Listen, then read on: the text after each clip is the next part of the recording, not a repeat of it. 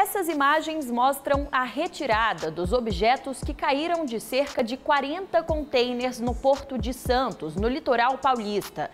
O acidente aconteceu em 2017 e causou diversos danos ambientais. Em acordos firmados com o MPF, a empresa responsável se comprometeu a pagar multas que chegam a 40 milhões de reais, que serão destinados a projetos ambientais na região afetada. Uma sala de aula flutuante. É neste barco que crianças aprendem e conhecem todas as riquezas da fauna e flora deste manguezal. Aqui, alunos e visitantes percorrem por essas águas durante uma hora o conhecimento que se tem no passeio traz resultados muito importantes para a conscientização ambiental de quem participa. É o projeto Barco Escola, que fica em Bertioga, litoral de São Paulo. O principal objetivo é sensibilizar as crianças para as questões ambientais, principalmente que a gente está entre o Oceano Atlântico e a nossa Mata Atlântica, a nossa Serra do Mar, e entre esses dois ecossistemas nós temos o manguezal, que também é um rico sistema é, muito importante aqui na nossa região. Bertioga conta ainda com vários projetos ambientais que envolvem comunidade e escola.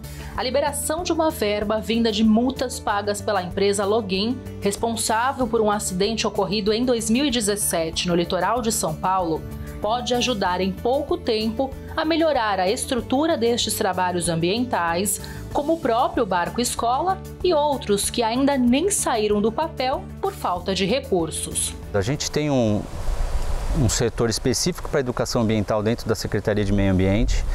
É, estamos agora para início das obras do Centro de Educação Ambiental, que tem esse objetivo justamente de trazer a população a unidade escolar para dentro uh, do Centro de Educação Ambiental para que nós possamos fazer uh, o trabalho de educação às crianças, à, à, população em geral. O dinheiro vem de multas que chegam a um montante de 40 milhões de reais, segundo o Ministério Público Federal. A armadora Login foi autuada depois que 47 contêineres caíram em águas de praias paulistas, como a cidade de Santos. Na época, apenas 18 contêineres foram retirados do fundo do mar. Os outros 29 afundaram e a empresa pagou de início 22 milhões de reais em infrações, já que o prejuízo ambiental foi grande. A valoração desse é, do impacto ambiental, ela é muito difícil. Mas nós nos baseamos aonde? No impacto da queda de, junto à fauna ah, o que ocorreu durante esses sete meses nós, nós retirando, nós não, é o acompanhamento do IBAMA, nessa retirada com os equipamentos mais modernos, equipes de fora do país e equipes nacionais qualificadas. É, tudo isso, essa movimentação todinha, provocou um impacto ambiental. O TAC, firmado com o Ministério Público Federal, prevê que o valor seja investido em vários projetos em que os principais objetivos incluam soluções de saneamento básico, despoluição de mares e rios, combate ao lixo nas praias e conscientização ambiental.